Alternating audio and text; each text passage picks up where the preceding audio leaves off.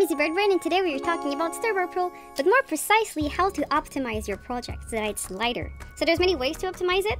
I'm gonna walk you through some of them. So when a project is very heavy, sometimes it's because it's too long.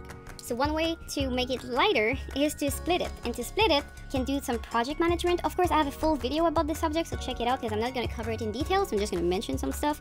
So in project management, you have the option to split, and this is gonna split your project in half from where your cursor is. This is very useful when you have a project that was supposed to be like 5 minutes and actually now it's been like 50 minutes of uh, footage and you're like, my computer's gonna die. I'm gonna split that into two 25 minute boards, for example. It's not exactly like if you're extracting a scene and giving it to someone so that they give it back. It's really just, I'm gonna split it in half, make it lighter, okay? So split is one option. The other option is to actually make that file lighter. So you're not gonna split it, you're gonna keep the same length, but you're just gonna make it lighter. To do that, one of the most important things is to get rid of unnecessary drawing. Because even if you hide a drawing, in your folders, in your file, in your in your elements, the, the file is still there on your computer. Like Harmony is less of a problem with that because Harmony is usually scene-based. But in Storyboard Pro, you have like sometimes storyboards that are an hour long. Like a whole episode is 25 minutes of images. This can be very heavy.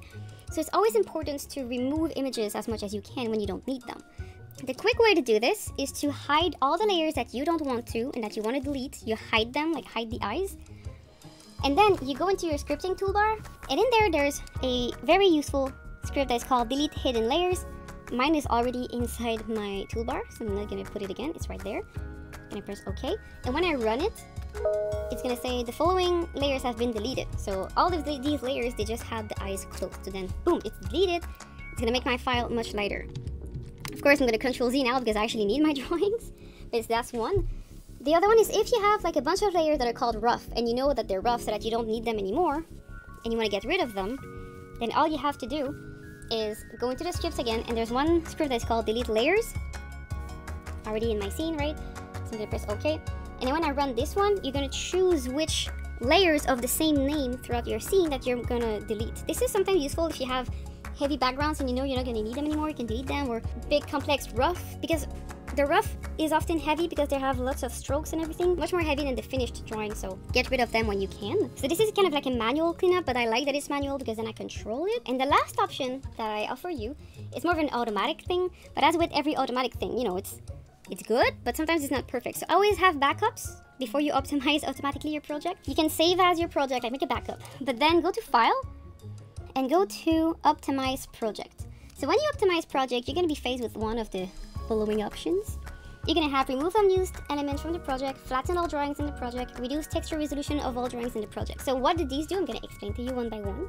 So remove unused elements from the project. So as you create your storyboard, you will delete the panels and the layers, update your drawings, like unlink sound and so on. So some of the files, you're not going to use them anymore. Just like in Harmony, if you delete the drawing, it's still into the drawing substitution. But in Pro, there's some items like this that even though you deleted them, they're still kind of in Pro's memory somewhere. So this is going to remove them because they're used for backup and they take up space and they do increase the size of your project on your hard drive over time. So this is going to remove all of these little pesky, hidden, ghostly layers. I recommend it. then flatten all the drawings in the project. Just be careful because sometimes flattening all the elements might change the way they look to you. So be careful because it's going to flatten all the brush strokes and the pencil lines that you have in all your vector drawings in your project. So if you have like strokes that overlaps, it's gonna flatten them. So they're not gonna be editable anymore, merged together as a whole drawn object. Important to note that the strokes that are drawn with different colors, they're not gonna be flattened together. Very important, because you know, they're different colors, you, we cannot flatten them. And then reduce the texture resolution on all the drawings in the project. This is, you know, gonna do exactly what it says. It's gonna reduce the unnecessarily high pixel density of some drawings. But as I said, this cannot be reversed, so make sure you have a backup of your scene. You cannot undo it.